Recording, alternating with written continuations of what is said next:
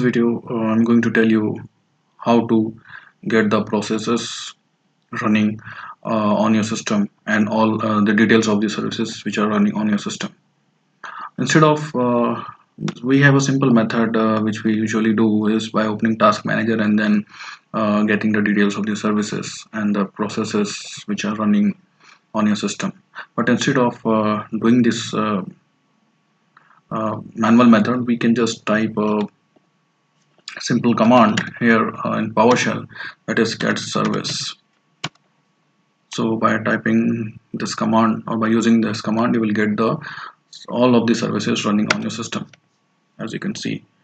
It gives uh, the details of the status of the service name of the service display name and a lot of the other details. Now uh, if you if I want to get the processes details then I have to just simply type uh, get process. And here you will get the process. All of the processes running on your system. Right now it is giving the details of all the processes running on my system.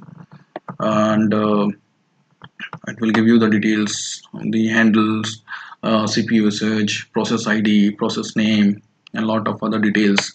And uh, which you can uh, use uh, for uh, your purpose now this is a this is all about the process and mm, services. Uh, so uh, if you want suppose if you want to get the output uh, of the services or processes on not on the console but on a text file then what you will do? I'm going to tell you um, how to do it.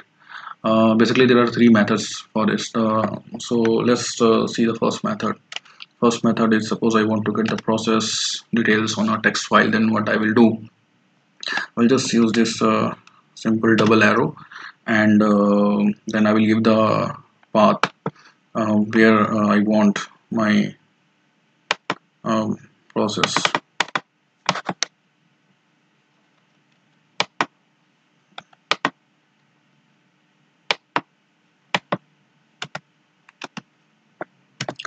suppose just I'm giving the path.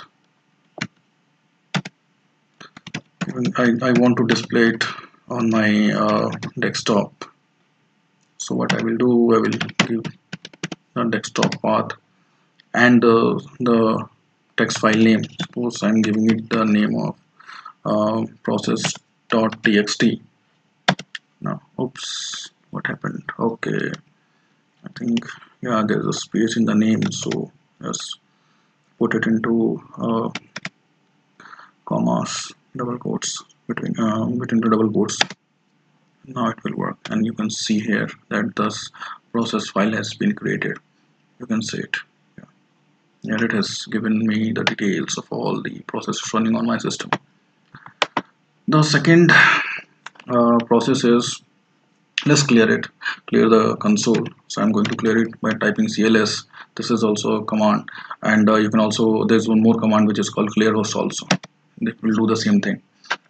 Uh, the second process is uh, just uh, uh is like pipelining uh, all of the output get process output.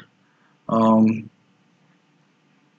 um, uh, pipelining the output pipelining all of the output and then um, using the command out file. And then typing the address uh, then typing the address of the text file.